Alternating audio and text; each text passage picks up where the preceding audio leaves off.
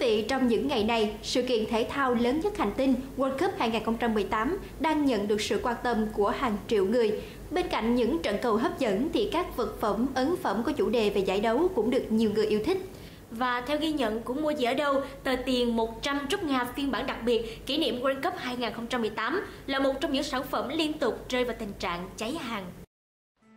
Được biết, Ngân hàng Trung ương Nga đã phát hành 20 triệu tờ 100 rúp được thiết kế đặc biệt dành riêng cho World Cup 2018. Một mặt của tờ tiền có hình ảnh cậu bé mang áo số 1, tay ôm quả bóng đứng nhìn thủ môn huyền thoại Lev Yashin của đội tuyển Liên Xô cũ. Mặt còn lại in hình quả bóng tròn được thiết kế khéo léo, tô điểm là cảnh các cổ động viên đang reo hò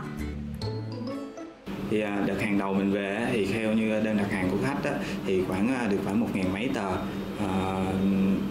số lượng vẫn không đủ đáp ứng. Thì mình đang à, chờ những về những đợt tiếp theo thì à, khoảng mỗi đợt chỉ à, mua được khoảng vài trăm tờ thôi. Tờ tiền thì được bán ra với mức giá khoảng 350.000 đồng tại một số website bán tiền lưu niệm online. Quý khán giả của mua gì ở đâu cần lưu ý, tờ tiền thật do Ngân hàng Trung ương Nga phát hành có đầy đủ tính năng bảo an chống lập giả như khi được soi dưới tia cực tím, logo FIFA World Cup 2018, hình dáng lãnh thổ Liên bang Nga và tên 11 thành phố đăng cai World Cup sẽ được hiện lên.